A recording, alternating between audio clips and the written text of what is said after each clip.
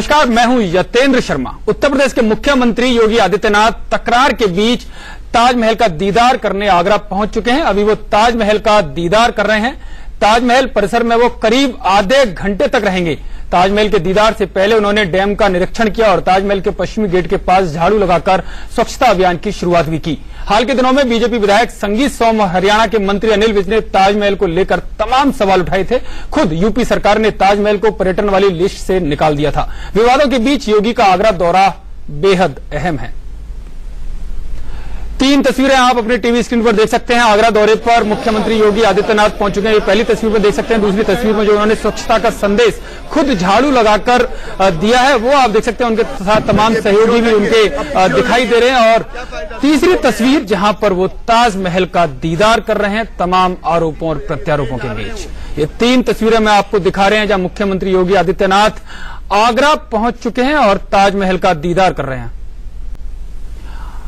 मुख्यमंत्री योगी आदित्यनाथ ने झाड़ू इस दौरान लगाई स्वच्छता का संदेश दिया और खुद आप देख सकते हैं, कूड़ा उठाते हुए भी दिखाई दे रहे हैं। यानी कि एक मैसेज दिया जा रहा है कि जिस तरह से आरोप प्रत्यारोपों की झड़ी लगाई, जिस तरह से पूरे माहौल को गंदा किया गया, अब वो खुद झाड़ू लगाकर ताजमहल के परिसर में, जो आसपास का कैंपस है, वहाँ पर स्वच्छता का मैसेज दे रहे हैं। खुद कूड़ा उठा रहे हैं, यानी कि जो गंदगी उनके नेताओं ने फैलाई, पार्टी नेताओं ने, अब उसको खुद वो सफ़ाई यहाँ पर प्रतीकात्मक रूप से करते हुए दिखाई दे रहे हैं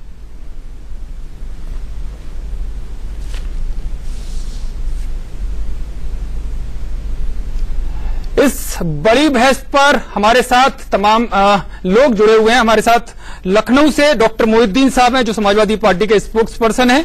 सैयद यसार जलानी साहब हैं जो संघ विचारक हैं राष्ट्रीय मुस्लिम एकता मंच से जुड़े हुए हैं जो हमारे साथ स्टूडियो में वहीं मौलाना अथर हुसैन दहलवी साहब हैं चेयरमैन है अंजुमन मिनाज रसूल के जो मेरे साथ जुड़े हुए हैं।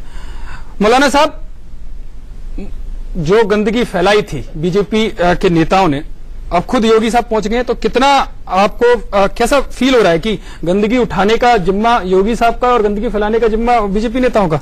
नहीं इतनी सबसे बड़ी चीज़ ये है कि जैसे आपने अपने बेबी कहा कि इसमें मैं नहीं समझता कि ये ताज को लेकर जिस तरीके के विवाद हुए।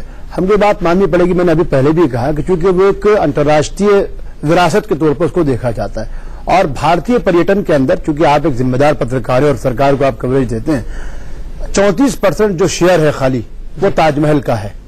इसलिए विश्व स्तर के ऊपर जब से बयानबाजियाँ हुई और आपने देखा कि अलग अलग अखबार तो पूरी दुनिया में जिस पर चर्चाएँ हुई उसे प्रधानमंत्री को सामने आना पड़ा। और कहीं ना कहीं योगी आदित्यनाथ ने ठीक कहा कि उसकी तामीर में भले वहाँ मुमताज़ महल की खबर है या शाहजहां का निर्माणित चीज़ है लेकिन उसके अंदर जो खून पसीना है जो मजदूर हैं जो उसमें शिल्पकार थे वो सब कुछ भारतीय हैं। तो ऐसे में मैं समझता हूँ जहाँ तक संगीत सब या दूसरे लोगों की बात है ऐसे लोगों को संजीदगी से लेने की कोई ज़रूरत नहीं है। लेकिन लेकिन जो उन्होंने सवाल उठाया मौलाना साहब क्या लगता नहीं कि इतिहास को फिर से एक परिप्रेक्ष्य में पूरे में दे, देखना चाहिए? और अगर उन्होंने कुछ सवाल उठाए हैं तो उसका एक जो स्वरूप है उस पर फिर से विचार करना चाहिए। मेरा कहना यह है मैं शाहजहां को एक राजा के तौर पर देखता हूँ। मुसलमान की बात ही नहीं कर रहा। हम्म। मेरा कहना है जिस तरीके से ब्रिज जैसे हिंदू हैं संगीत सोम जैसे हिंदू हैं या और भी कोई आस्थावादी हिंदू कोई भी हो जाहिरी बात है कि मुगलों के यहाँ उनके यानी शाहजहां की पूरी ननिहाल जो थी वो राजपुताना थी, उनके सगे नाना मामू सारे के सारे राजपुताना थे। उनके हमेशा वज़ीर आज़म सारे राजपुता। तो क्या उस जमाने के जो हिंदू थे वो इतने ज़्यादा कायर हो चुके थे? उस जमाने के हिंदू इतने दबे कुचले थे कि वो मुट्ठी भर मुगलों से इतने दब रहे थे कि इतिहास बदला जा रहा था मंदिर तोड़े जा रहे थे शिवालयों तोड़ा जा रहा था। ये कारण की बात नहीं है जहाँ सत्ता होती है वहाँ बल होता है उनके पास पूरी पूरी सत्ता उनके हाथ में होती है मुट्ठी भर इस्लामी बड़ी सेना थी बड़ी फौज थी। ये आप नहीं सकते कारण थे। ये तो हम कह रहे हैं सरकार में इतिहास तो बदलने की बार बार कोशिश होती है संघ अपना इतिहास लिखता है कम्युनिस्ट अपना अपना इतिहास लिखते हैं। खुद उर्दू शायरों में अपने इतिहास की नहीं है ये देश के इतिहास की बात हो रही है। क्या वो इतिहास को द्वारा से देखा नहीं जाना चाहिए? इतिहास आप जानते हैं आप जानते हैं इतिहास की बात मैं बता रहा हूँ आपको। मैं आपको बता रहे हो आप तो हिंदुओं को कायर बता रहे हो। मैंने उस जमाने को कहा आप गलत बात कह रहे हैं। उस जमाने को क्या बता जमाने के आपके मुताबिक कह रहा हूँ जमाने में शक्तिशाली की बात नहीं आप पहले गलत कह रहे हैं। तमाम आप बिल्कुल आप गलत तरीके से आप? गलत तरीके से आप गलत आप बीजेपी का पक्ष जी, रखें मैं- आप सही- बीजेपी का पक्ष रखें लगता है आप बीजेपी का पक्ष तो रखें होता है आप जुल्म की। सताए जुल्म ढाए गए जुल्म आप आप तो आप रहे हो आप भी बताने आप- आप हो आप हो रहे हो आप आप पत्रकार बन के पार्टी बनोगे हाँ, आप बिल्कुल पत्रकार बनोगे आप कुछ भी कह दो मैंने कहा आप झूठ बोल रहे मैंने किस हिंदू मैंने कहा कि आप उस जमाने के हिंदू को हो? हो मैंने ये कहा आपने आप पार्टी बन हो आप पार्टी बन से बताइए ये- लोग क्या है? ये सिर्फ़ उन्माद फैलाने की उन्माद फैलाने जो भारत में गलत तरीके से हैं। जो हमारी साझी विरासत है। जो गंगा इसका मतलब आप बीजेपी का पूरा तोड़ने का काम करते हो। मौलाना देखिए अब आप बात कही नहीं जा रही है, बीजेपी से कहाँ से आ गई बीच में? बात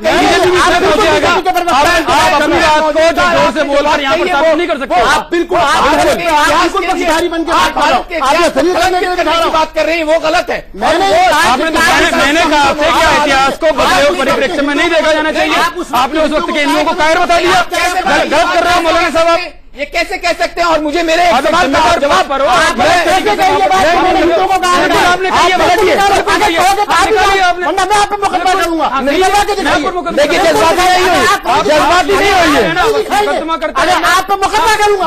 जज्बाती नहीं अरे हुई। मैं झूठ बोल रहा हूँ नहीं, जज्बाती नहीं हुई है, जज्बाती नहीं हुई है। बिल्कुल ये कहिए आप झूठ बोल रहे हो। आप उंगली दिखा बिल्कुल झूठ बोल रहे हो जो बात है झूठ समय के हिंदुओं नहीं कहा मैंने नहीं कहा। अभी दिखाओ। इतनी अगर हिम्मत है कर- की बात बिल्कुल। के बाद। ब्रेक के बाद क्या बोला है। अगर नहीं अगर कहा होगा आपसे मैंने साफ़ तौर पर कहा कि एक बड़ी फौज उनके पास थी अगर उस वक्त की स्थितियाँ कुछ रही होंगी तो उस जुल्म के सहारे उन्होंने बात बदलो आप अपनी बात को ज़ोर ज़ोर से बोलकर सही। हिंदू कायर मैंने नहीं कहा हिंदू कायर क्या कहा फिर आपने बताइए मैंने कहा आप ये समझते हो क्या उस वक्त हिंदू कायर थे ये कहा है मैंने चलिए मैं आपको आपकी बात हूँ। अगर होगा तो आप पर मुकदमा बिल्कुल। आप आप बिल्कुल। जज्बाती ना हो जज्बाती होते जा रहे हो। सवाल आपसे आप शाहजहां को राजा मानते हैं बिल्कुल मानते हैं। बिल्कुल एक एक समाज के लिए समाज सरकार सुधार के लिए समाज सुधार राजा लिए मानने की है यहाँ पर मौलाना साहब। आप बता दीजिए। नहीं पहले नहीं, समाज- मैंने कहा नहीं नहीं छोड़िए वो बात। अब आप सवाल बात आप होगी, मेरा सवाल बिल्कुल बात clear होगी। शाहजहां ने समाज के योगदान के लिए एक काम बता दीजिए। एक काम बता दीजिए। तो आपने नानिहाल आपने नानिहाल का ज़िक्र कर दिया उनके तो माँ बाप का खिलाफ कर दिया है। नानिहाल का जो आपकी बात सही आप एक बात बता दो। समाज बिल्कुल। लिए क्या किया उन्होंने आप बिल्कुल जवाब आप दे दीजिए। कहाँ से हिंदू मुसलमान की हो रही है? बात आप लेकर आए हो? तो करो, बात आप लेकर आए हो ना? आप हिंदू बेकार बेकार की बात कर रहे हो आप। आपसे पहले दो घंटे यहाँ डिबेट की हाँ? आप बीजेपी को कवर करते हो ये अच्छी बात है आप पत्रकार हो। ये कहाँ से बात है कि बीजेपी को कवर करता हूँ? ये बात तो कहीं से भी नहीं आई ना। ये बात तो कहीं से भी नहीं आई। ये तो आप आप लोगों को ये पता चल गया कि मैं बीजेपी कवर करता हूँ आपके कोई भी आरोप लगा दो झूठ बोलना शुरू कर हाँ? दिया कि मैंने हिंदुओं को कायर कहा और फिर आप अपनी बात से पलट रहे हो। अगर कहा दिखाओ। बिल्कुल बिल्कुल मैं दिखाऊँगा बिल्कुल दिखाऊँगा। बात करने से डिबेट नहीं होती है मेरी हाँ। तरह चीखता रहे, आप झूठ बोलते आप चीखते रहिए, आपका- आपका कुछ नहीं हो सकता है। दिखाओ ना। बताइए साहब। आप ये सर साहब आज मुख्यमंत्री योगी दौरा कर रहे हैं तो आपको क्या लगता है जो विनय कटियार ने जो बात कही है संगीत सोम ने जो बात कही है वो सही है? या उसका अब पूरा कह सकते हैं एक तरह से मैनेज करने के लिए योगी आदित्यनाथ नहीं नहीं देखिए? आप पिछले मैं दो घंटे से इस बात को एक डेढ़ घंटे से सुन रहा हूँ डैमेज कंट्रोल डैमेज। कोई डैमेज कंट्रोल की यहाँ ज़रूरत नहीं। यहाँ का वहाँ का एक यशस्वी मुख्यमंत्री माननीय योगी आदित्यनाथ आज जो मैसेज पूरे भारत को पहला मैसेज उन्होंने दिया सफ़ाई करके। सफ़ाई का मैसेज है कि उन्होंने उत्तर प्रदेश से करप्शन उन्होंने उत्तर प्रदेश से अपराध उन्होंने उत्तर प्रदेश से वो सारी चीज़ें जो गलत हो रही थी पिछले पाँच साल में पाँच साल में उसको उन्होंने खत्म करने का एक मैसेज दिया चर्चा जारी रहेगी। योगी आदित्यनाथ के ताजमहल के दौरे को लेकर लगातार बड़ी बहस इंडिया न्यूज़ पर चल रही है। हमारे साथ तमाम मेहमान हमारे साथ जुड़े हैं। डॉक्टर मोहिद्दीन साहब हैं, लखनऊ स्टूडियो से जो समाजवादी पार्टी के स्पोक्स पर्सन है। सैयद इसार जिलानी साहब हैं स्टूडियो से, मुस्लिम राष्ट्रीय एकता मंच के नेता हैं, संघ विचारक हैं, मौलाना अतहर हुसैन दहलवी साहब हैं चेयरमैन है, अंजुमन मिनहाज ए रसूल साहब के जो हमारे साथ जुड़े हुए हैं। सबसे पहले मैं डॉक्टर मोहिद्दीन साहब के पास चलता हूँ। मोहिद्दीन साहब, क्या सच में माना जाए कि मोहब्बत की निशानी और मोहब्बत का पैगाम देने पहुँचे हैं मुख्यमंत्री योगी आदित्यनाथ या फिर केवल एक राजनीति है ये?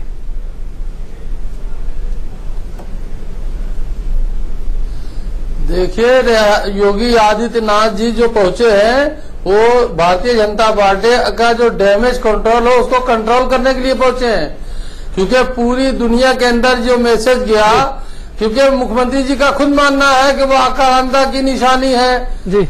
तो पहले वो कह चुके हैं और जिस तरह से इनके नेता लोग बोल रहे हैं तो पूरे जो है देश विदेश में ये मैसेज गया और उस मैसेज का जब वहाँ इम्पैक्ट पड़ा जी। तब हिंदुस्तान के जो है प्रधानमंत्री होश में आए और उन्हीं सीएम साहब का क्या कर रहे हैं तब सीएम साहब उस डैमेज कंट्रोल को कंट्रोल करने के लिए डैमेज कंट्रोल कर रहे हैं, यहाँ पर बीजेपी वाले खुद मुख्यमंत्री पहुँच गए। इसी दौरान मुख्यमंत्री, जो पूर्व मुख्यमंत्री अखिलेश यादव, उन्होंने भी एक ट्वीट किया कि यह है यमुना किनारे खड़ी ताज का कहना, यह है प्यार का तीर्थ, यहाँ भी आते रहना।